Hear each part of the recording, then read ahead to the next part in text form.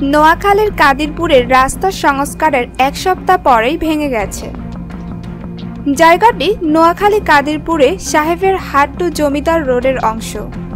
সাহেবের হাট এবং এর আশেপাশের কয়েক হাজার অফিসগামী চাকরিজীবী এবং স্কুল কলেজগামী ছাত্রছাত্রীর একমাত্র যাতায়াতের মাধ্যম এই রাস্তাটি। কিন্তু বর্ষা শুরু হতে না হতেই রাস্তাটি ভেঙে প্রায় চলাচলের অনুপযোগী হয়ে পড়েছে। রাস্তার মাঝে বড় বড় গর্ত হয়ে রাস্তাটি তৈরি হয়েছে মৃত্যুকূপে গর্তে পানি জমে থাকায় অনেক সময় চালকরা বুঝতে না পেরে গর্তে পড়ে ঘটিয়ে ফেলছে বড় রকমের দুর্ঘটনা। টেকের বাজার থেকে জমিদার হাট পর্যন্ত অংশ কিছুদিন আগে সংস্কার করলেও সংস্কার কাজ মান সম্পূর্ণ না হওয়ায় কাজ শেষ হওয়ার এক সপ্তাহ পর থেকেই সেটি ভাঙতে শুরু করে।